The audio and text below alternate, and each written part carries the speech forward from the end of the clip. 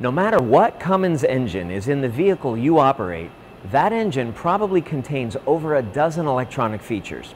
Features like load-based speed control, gear down protection, vehicle acceleration management, and many more. Many of these features help improve fuel economy. The brains of your engine are all in this, the Engine Control Module, or ECM. The ECM is mounted on your engine and controls all of the electronic features in your engine.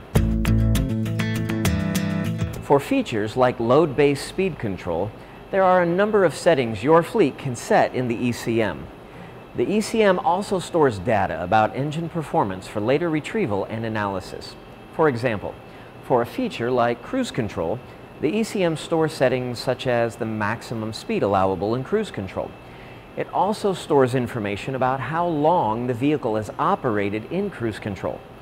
Fleets can use a laptop computer and software like PowerSpec to set engine parameters and read engine data. Using PowerSpec, authorized users can enhance driver and vehicle performance and adjust engine settings to match load and road conditions. PowerSpec also offers a way for fleets to retrieve information stored in the ECM, such as the amount of time the vehicle is operated in cruise control or sudden deceleration events.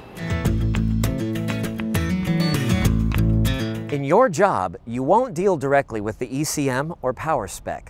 You will, however, be affected by the settings that are in the ECM, settings like maximum road speed or idle speed, because many of those settings affect either fuel economy or performance, and you will notice these settings. For those times when the settings affect you, we recommend that you think of the ECM and its features as an electronic coach, helping you drive in a way that meets your fleet's goals for fuel economy, safety, and performance. In later segments, you'll see how the ECM works with the electronic features in a Cummins engine.